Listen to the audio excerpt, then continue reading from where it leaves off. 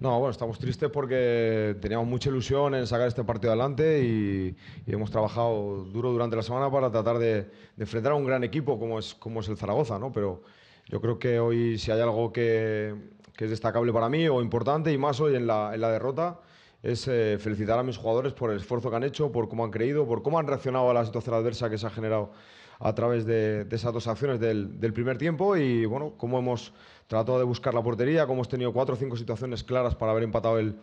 partido y habernos llevado otro resultado diferente, como creo que mm, su mejor hombre hoy ha sido el,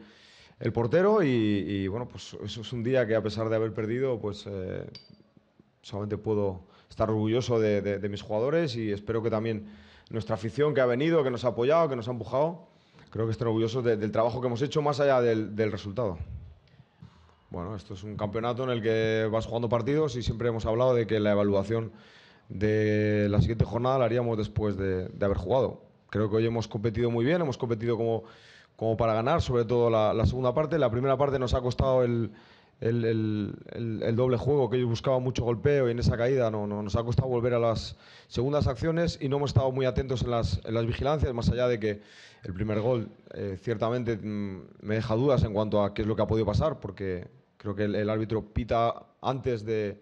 que la pelota entre, entonces no sé si es porque va a haber el gol antes o es porque hay una falta previa en la acción, ¿no? Eso creo que nos ha condicionado el partido, pero yo creo que la reacción de la segunda parte te hace, te hace pensar que este equipo está muy vivo, que, debemos eh, sentir la derrota, porque lógicamente no nos, no, nos gusta a nadie perder, pero que si tiene que perder, que, que, sea como lo hemos hecho hoy. Y con respecto a, a nuestro objetivo, pues seguimos en la misma en la misma línea, pensando que, jugando así, que yendo en esta, en esta actitud eh, y en lo que hemos demostrado hoy en el, en el partido, mm, vamos a pelear hasta el final.